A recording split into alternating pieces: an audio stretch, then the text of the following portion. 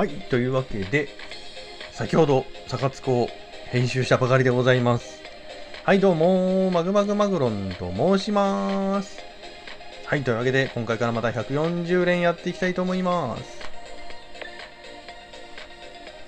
えーと、今日は今、7月8日の水曜日なんですが、まだミッションは入ってないので、明日からミッションもあるので、明日からは20連引けるということになるわけですね。はい、じゃあ、やっていきたいと思いますよ。5%だからね、さすがにあるよね。はい、サクサクいきましょう。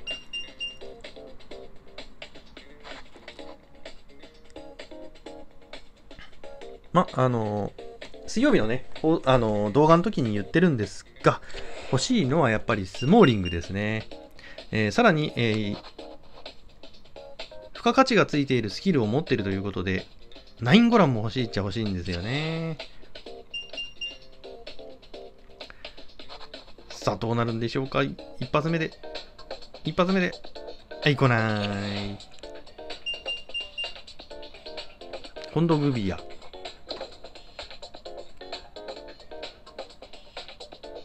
さあね、あの、月曜日の、えー40連、えーマンデーなんちゃらっていうスカウトの方では1体出たので、あっちはね、多分2%とかのね、低い方なんですが、あれでも出たんでね、ちょっとね、今日は、それ連チャンで弾けるんじゃないかななんて思ってるんですが、どうですか？あー5%だからね、ちょっと今回期待しちゃうよね、ほんとね。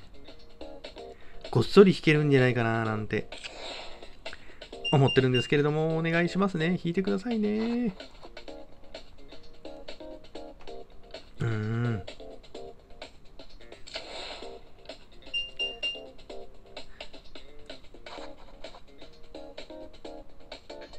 お、お、お、お、とととと、来い来い来い来い。スター選手。トリックスターの4ではダメですな。ヨベティッチ。はい、というわけで、最初の10連で星5は出ませんでしたが、星4、3は低いな。それはもうちょっと欲しかった。はい、というわけで、じゃあまた、えー今回から140連分を集めて、土日のどちらかで、えー前半戦お送りしていきたいなと思います。じゃあまた明日まで、カットはい、というわけで、今日は7月9日の木曜日でございます。はい、というわけで、えー直前サマーアップデートフリースカウトやっていきたいと思います。まずはね、通常の今日の10連いきたいと思います。さあ、ね、初日はね、ちょっと引かなかったんでね、ここはちょっと引きたいですよね。いきなり来たー メキシコってことは、あれかな？ヒメネスかな？荒野のハイタワーなんだ。はい、いらっしゃい、いらっしゃい、いらっしゃい。はい、来たラウル・ヒメネスこないだアーセナル試合した、この人と。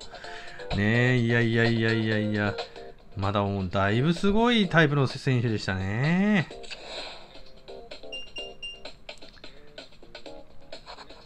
えーウル、ウルバーハンプトンだったかな？確かね。そこといたんですけど、この人よりもね、ちょっとあの、なんかさ、あの、ガチムチがいたでしょ。ちょっと皆さんもね、知らないかもしれないんですけどね、ぜひ、名前を検索していただきたいですね。えー、フォワードにいたね、あの、アダマ・トラオレっていう選手がいるんですけどもね、何ですか、あの化け物。おでそんな話をしてる間に、もうい、もう一つ来た。イーグルスの主力。イーグルスだって。ナイジェリア？なわけないか。イーグルスってどの、ウィルフレッド・ザハ左ウィングだらけになっちゃってるけども。えっ、ー、と、ザハも、あれか。これ結構いるよね。あの、ボーナスの時にも取ってるしね。というわけで、いきなり 2, 2体来ましたね。昨日引かなかった分、今日引いた感じ。いやいやいやいや、まあいいんじゃないんですか？やっぱ5%は引くね、やっぱりね。やっぱこれだけね、引くと楽しいよ、やっぱり。ねえ、本当に。今後ともよろしくお願いしますね。引いていいんですよ、どんどん。というわけでね、えっ、と、何の話してたっけ？ああ、そう、アダマ・トラオレ。いや、まあね、あの、ユニフォームがね、もうパッツンパッツンなんですよ。もうほんと格闘家のそれっていう筋肉をしててね、とにかく、あの、なんていうのかな、こう、いい精度のボールとか、縦パスとか、スルーパスとかいらないのも、とにかくね、適当でいいの。もう何起こるかわからないボールとか、もうそんなのもいらないの。雑でいいの。とにかくボールちょうだいっていうタイプの。もうあとはね、あの、そのガチムチなフィジカルでなんとかするからっていう、そういう選手だったんですけどね。その選手と、あの、ツートップで、えー、組んでいたのがこの左上にいるラウル・ヒメネス選手でしたね。いやいやいやいやいや、2体引きましたよ。そんな話してたら。はい、というわけで、じゃあね、これで終わりじゃないんですね。今回チケットもあるので、それも合わせて引いていきたいと思います。これで30連目になります。はい、もうサクサクいきます。おもうパワフルタックル、お願い、スモーリング、スモーリング、スモーリング、スモーリング、あまあまあ、まあいいか、アーセナルだし。契約延長おめでとう。ね、というわけでね、ダビド・ルイス選手獲得しました。ね、ちょっとね、あの、今、アーセナルでね、あの、やらかしちゃってるんですよね、だいぶね。あの、まあ、もともとね、ポジショニングに難ありっていうセンターバックではあったんですけれども、ちょっとね、レッドカードも出しちゃったり、あの、なん、なんで、30罰でしたっけ？ね、あれやっちゃったんですよね。決定機でね、退場 PK 次節出場停止ってやつですか？ね、最近流行りの。ね30罰。まあそういうのもあってね、ちょっとね、迷惑をかけてるんですが、3バックの真ん中になったダビド・ルイスは迷惑かけてないですね。ポジショニングが狭まってる分だけね、あの、彼のミスがないですよね。そうか、ダビド・ルイスは3バックの人なんだっていうのがね、わかりましたよ。あ、そうそう、そしてね、話変わっちゃったけども、アダマ・トラオレ、皆さんね、ぜひ検索してみてください。ガチムチでね、とにかくね、あの、パワフルな選手なんですけどね、まさかのね、バルサのカンテラ出身というね、おい、バルサはなんだ、な、収支買いしたのかな？ねえ、あんなことになっちゃったんだね、今バルセロナって。いやいやいやいやいやいや。あんなガチムチも好むようになったんだね。でね、あの、パワー系で、えー、ガガツガツ来るのがそのアダマ・トラオレなんですけど、このラウル・ヒメネスの方は、あの、スピードタイプでね、裏にガンガン走るタイプの人。だからもう蹴ったと同時に走るやつですよね。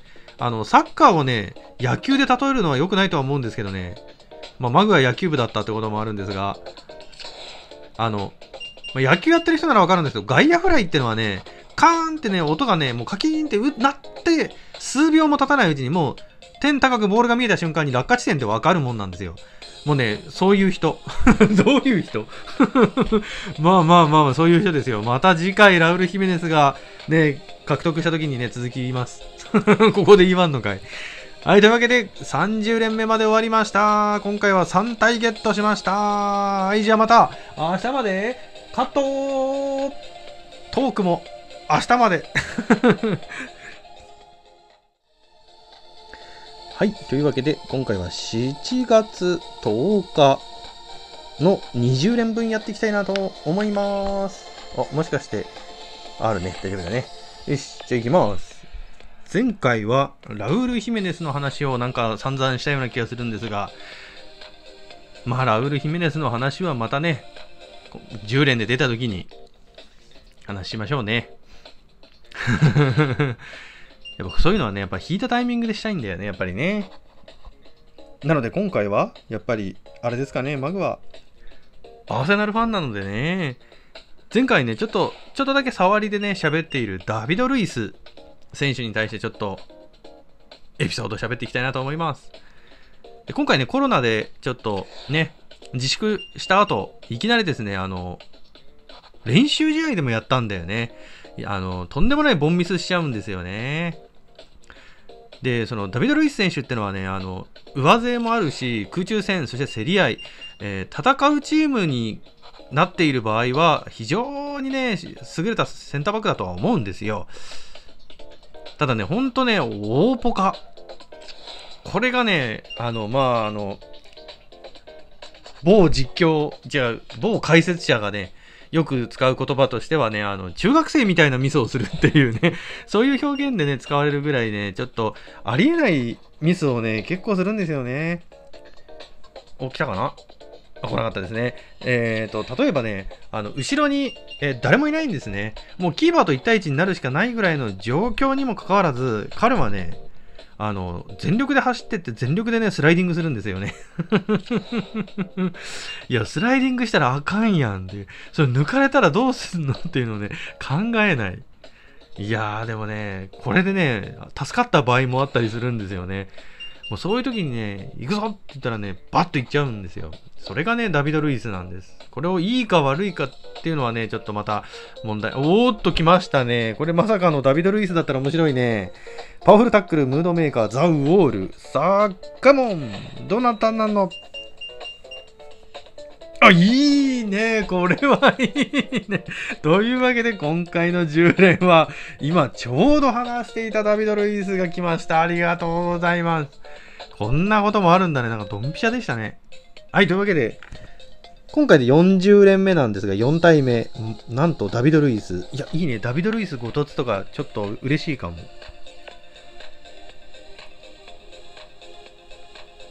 はい、というわけで、まず10連目でダビド・ルイスが出たんですが、次、チケットの方も行きたいと思います。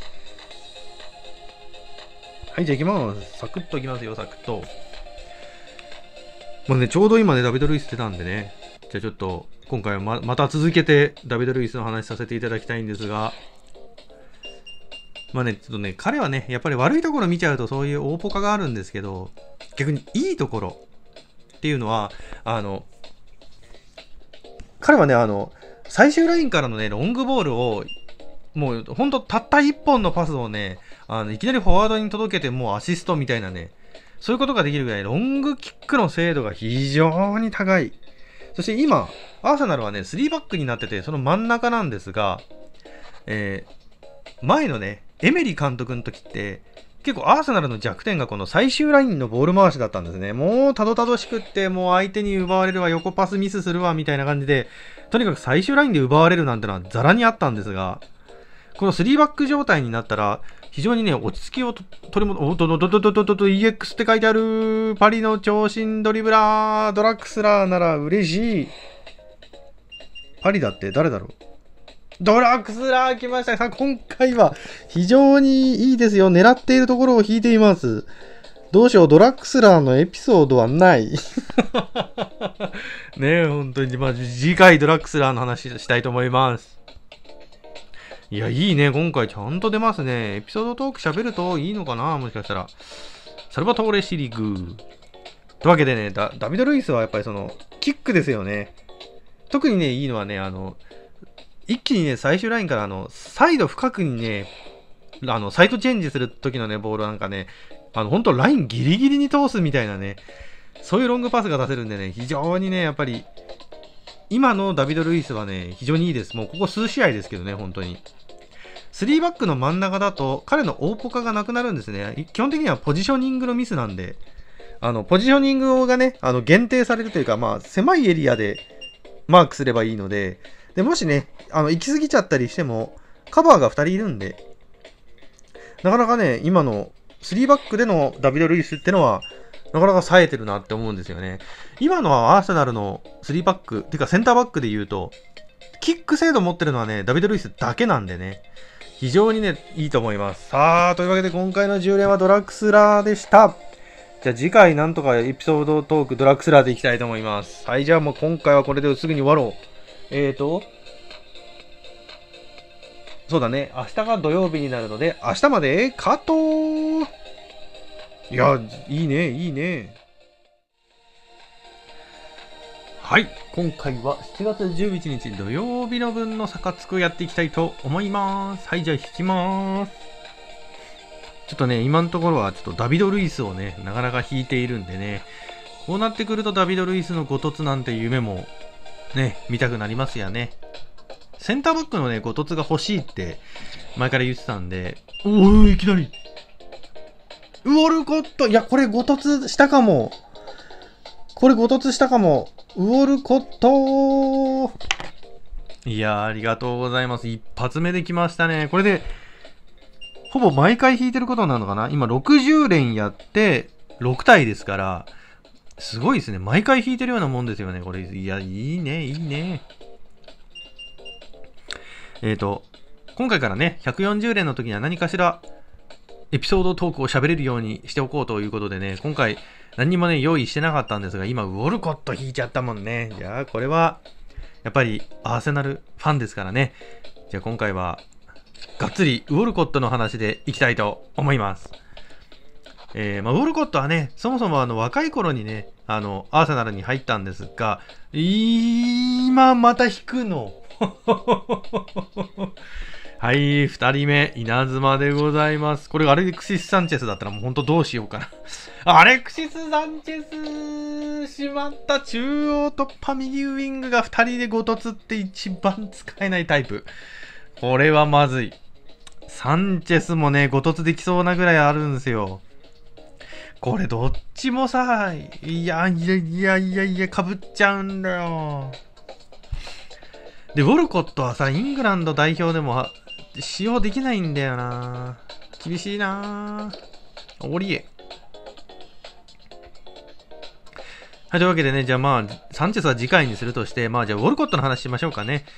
えー、まあ、ウォルコットはね、とにかく当時、えー、ウィングの選手ではね、多分一番足が速いっていう触れ込みでアーセナルに来たんですよね。とにかく縦への突破に関しては、当時の選手の中では多分一番速かったと思います。もう縦の切れ味はね、もう、すごかったんですよ。ただ、すごかったんですが、あの、アーセナルは当時、ベンゲルさんが監督だったので、基本的にはね、ショートパスをつなぐサッカーを好んでいたんですね。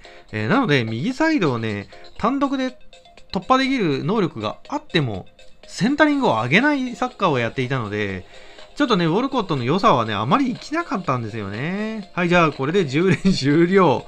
さあ、ウォルコットのトークだけで、今回20連いきたいんですが、10連終わりました。さあ、今回すごいですね。結構引いております。さあ、チケットの方で、またさらに10連いきたいと思います。さあ、これ、ウォルコット自力ごとつ、そういう回になりそうです。さあ、じゃあ、チケットで10万引いていきたいと思います。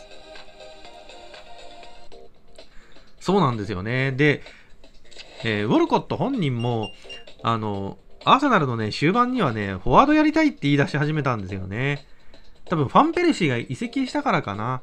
あそこら辺でね、ちょっとね、右ウィングからちょっとセンターフォワードやりたいと。えー、まあ、つまり、アンリの系譜を俺が継ぐんだと。ね。アンリももともと左ウィングの選手だったんですが、えー、アーセナルでね、センターフォワード、そしてツートップ、ベルカンプとのツートップでプレーして、えー、覚醒した選手なんですので、ウォルコットもね、そうしたかったみたいですね。フォワードでやりたいと。で、ね。で、実際にね、フォワードをやらしたことがあるんですね、アーセナルで。その時にはね、点も取ってたし、や、これはもしかしたらやっぱりアンリー同様、ウィングからのセンターフォワードありなんじゃないかっていうタイミングが実際あったんです。ところがですね、ウォルコットはとにかく、あの、年間まともに働くことがないぐらいにね、怪我がすごいんですよ、ウォルコットって。まあ、プレイスタイル的にもね、あの、相手と対峙した際に、ちょっとボールを大きめにこづいて、ね。それで、ボールだけ先に通した後、スピードで勝負するタイプなんで、結構ね、ユニフォーム引っ張られたり、タックルされたりすることが多いので、ファールをね、ものすごく受けるんですね。まあ、そのおかげでセットプレーとかも多くなってたんで、いいんですけど、ウォルコットの、まあ、体が持たないですよね、そのプレースタイルだとね。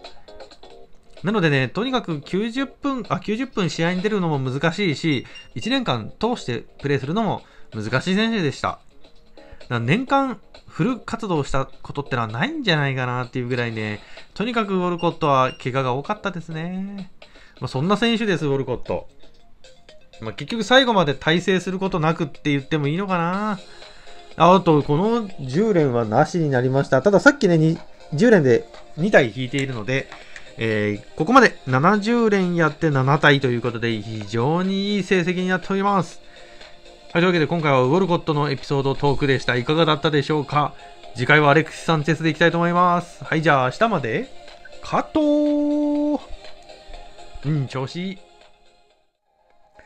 はい、というわけで、ただいま、月曜日、7月13日月曜日となっております。はい、というわけで、もうこの時点で、えー、お分かりの方はもういるでしょう。えー、っとですね、残念ながら7月12日日曜日の分はすっかり忘れてましたということで、今回の前半戦の動画は130連の動画になると思います。やっちまった日曜日だよ。ねえ。いやもうね、寝る、早く寝なきゃ明日仕事だしって思ってたらね、もうすっかり忘れちゃったね。いかんいかん。というわけで10連少なくなってしまいましたが、行きたいと思います。さあね、前回はね、確かあの、アレクシス・サンチェスを引いたから、アレクシス・サンチェスのなんかエピソードを喋ろうっていう風にね、決めてたのにもうね、そんなのよりもガチャを忘れるというね、恐ろしい話ですよ、もう本当に。この10連を忘れただけでね、誰かことできないことになるかもしれないじゃないですかね。まったく、今度からは気をつけないといけない。ただ今週もね、やることがいっぱいで、また忘れそうな予感がちょっとしますが、やっていきたいと思います。じゃあ、今回はね、アレクシス・サンチェスに関する話をちょっとしたいと思います。まあね、ちょっと順調にね、キャリアを、えー、ステップアップしてったわけですが、えー、まあ、バルセロナでね、えー、活躍していたんですが、そこからいきなり、ね、もう電撃移籍みたいな形で、アーセナルに加入が決まりました。で、えー、アーセナルでは完全に王様プレーをさせてもらえた。えー、これがアレクシス・サンチェスがアーセナルで大活躍できた一番の理由だと思います。えー、とにかくね、当時のアーセナルはですね、エジルとアレクシス・サンチェスのホットラインがね、異常にね、すごい成果を発揮してましてですね、とにかく、左ウィングの方に、えー、アレクシス・サンチェスが開いて、カットインからのシュートだけでもう恐ろしかったですね。もうこれだけでね、ゴール入っちゃうっていうぐらいにね、あの、とんでもない選手でした で、えー、まあ、結果もさることながら、アレクシス・サンチェスのすごいところっていうのは、まず90分、えー、試合に出続けることができる。え、さらに、献身的に前から守備するんですよね。え、これがね、多分ね、多分、今いるアーセナルの、えウィング、えペペとかサカとか、この2人よりもはるかに守備力高いですね。あーっと終わってしまいましたね。さあ、やっぱ忘れたっていう影響もあるんでしょうか。マグの運がちょっと逃げちゃったかもしれませんね。はい、というわけで、7月13日分はなしとなりました。じゃあ次はチケット分引きたいと思います。で、チケット分を引きたいんですが、えー、もしかして俺は日曜日にチケット分すら取らなかったんだ。そういうこと？あ、そうだね。こわってことは、マグはこれあれですか ?20 連逃したってことですか？いやいやいやいや、チケット分ぐらいはあるかなって思ったのに そうか。ってことは俺あれだな。あの、GB も取らなかったんだな。じゃあ日曜日はもうぐったりしちゃったんだね。ほら、忍者らなんか生放送してるからだよ はい、というわけで、えーと、じゃあ、7月12日の分は完全に両方とも忘れたと。そういうことですね。なんという、20連を逃しましたよ。今回引きやすいのに。ねえ、まったくやってしまいましたな。で、今日は完全に月曜日分だけをやっているということになります。はい、来ました、いきなり。ねえそんなマグでもちゃんと弾かせてもらえれば弾けるんだ。ねえでもやっぱり20連逃したの大きいな。さあ、最後の支配者、EX コントロールクロスとは何者？ジエゴ・ペロッティもうすでに自力ごとつした人 ねせっかく出たのにね。まあ、ゴールドコインにするしかないかな。ペロッティって何、何のスキル持ってたかな？それ次第ではね、ちょっとスキルの餌に、まあ、こうからしていきましょうね。もうすぐ育て始めてもいいかもしれないね。まあ、ペロッティに関してのエピソードは全くないんでね、しょうがないでしょう。このまま、このままなかったことにね、したいと思います。で、さらに、ちょっとアレクシス・サンチェス、まだ続きを言わせてもらいますと、あの、献身的なね、守備もしてくれるし、えー、とにかく、あの、出して、受けて、両方できるんですよね。あの、ボールを収まる、もう、ポ、あの、ポストもできるんですよね。なので、えー、受け手にもなる、さらにはアシストも多いのでね、出し手にもなる、えー、非常にいい選手でした。なんですが、まあね、アーセナルから旅立ってしまうのはね、もう世の常ですから ね。で、マンチェスターユナイテッドに行ったんですが、ちょっとね、マンチェスターユナイテッドでは合いませんでしたね。やはり、あの、彼はね、王様タイプでこう自由を与えてね、えー、彼はもうほんとフリーにしておいた方がいいんですが、ちょっと、いろいろね、制約をつけたり、ね、守備は守備でも、あの、精神的に追っかけることはするんですけど、引いて守るってのはあまり得意ではないみたいですね。そういうのはね、したくないみたいです。もう積極的に前からプレスするっていうのはね、全然できるんですけど、引いて守れっていうのはね、で、自陣まで戻ってこいとかっていうのはね、あまり得意ではなかったみたいですね。なので、あの、ほとんどね、1試合でボールを触る機会も少なかったですし、王様にもなれなかったので、ユナイテッドでは全く活躍できませんでしたね。はい、というわけで、えー、今回はペロッティをゲットしました。まあ、ご突しているので、まあ、何かしらに餌に使われるのが、まあ、基本路線でしょうかね。まあ、20連やってたら何を引いたのかわからないんですが、引いてたら、ゼロってことはないよね、きっとね。今回のこの引きの良さでいくとね。はい、というわけでちょっとペロッティ、スキル何だったっけかな？クロスか。まあ、し、あの、餌になる可能性は高いですね。うん。まあ、いい選手を取ったってことにしておきましょう。というわけで、じゃあ、今度は忘れないで火曜日まで、カットはい。というわけで、今回は7月14日、今回は忘れませんでした。さあ、やっていきたいと思います。7月14日火曜日の無料10連いきたいと思います。いや、やっぱ20連忘れるのは痛いな。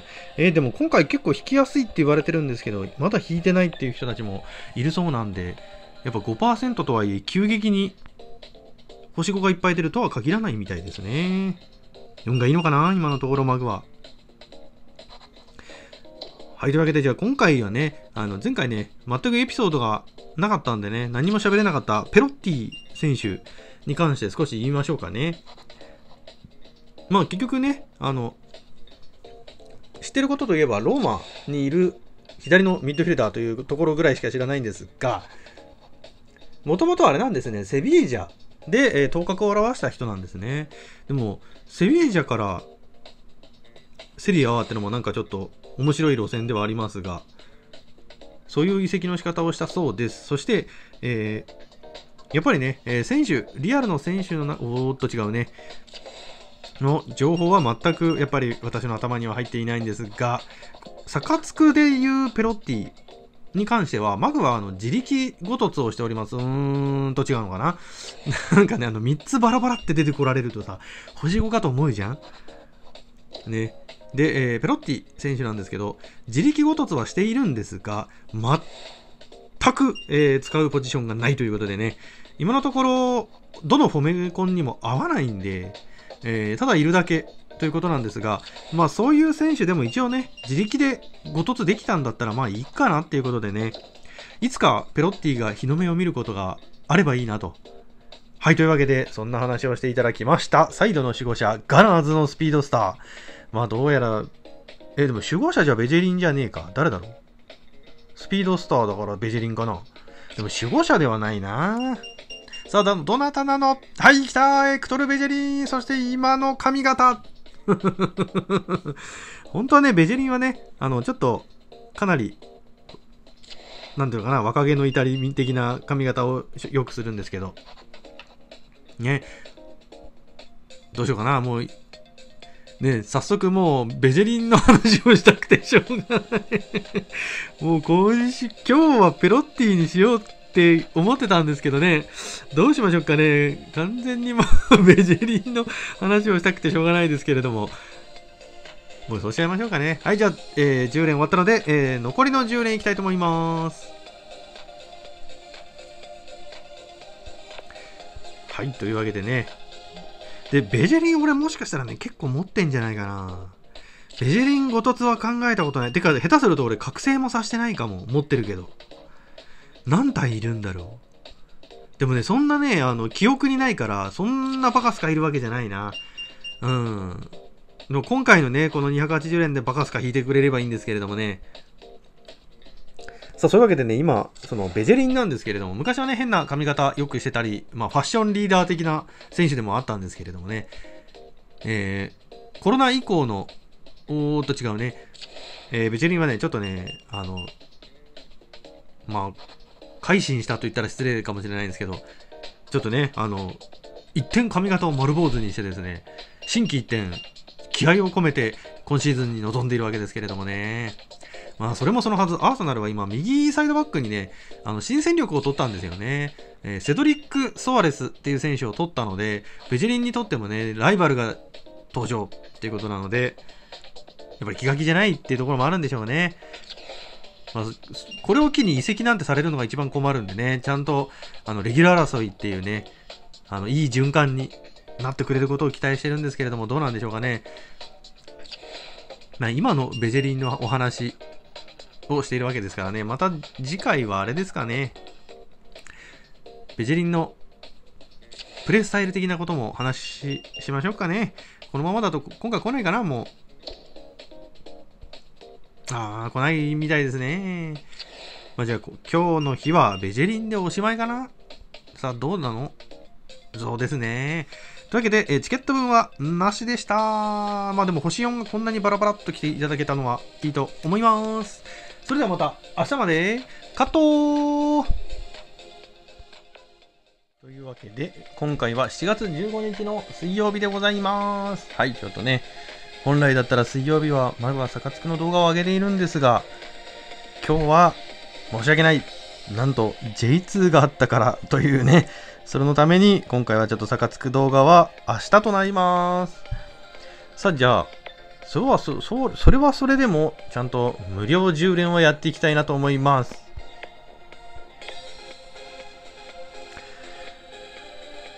さてね、えー、まだに今日、えー、大型アップデートされましたわけですけれども、いやいやいやいや、ポルトガルですか？イングランドは一体どこ行っちゃったんでしょうかねもうあれで終わりなのかな？いやいやいや、残念ですけれどもね。まあね、もうこの動画を上げる頃にはちゃんと、えー、更新情報をお伝えしていると思うので、おそらくそちらでも言っていると思いますが、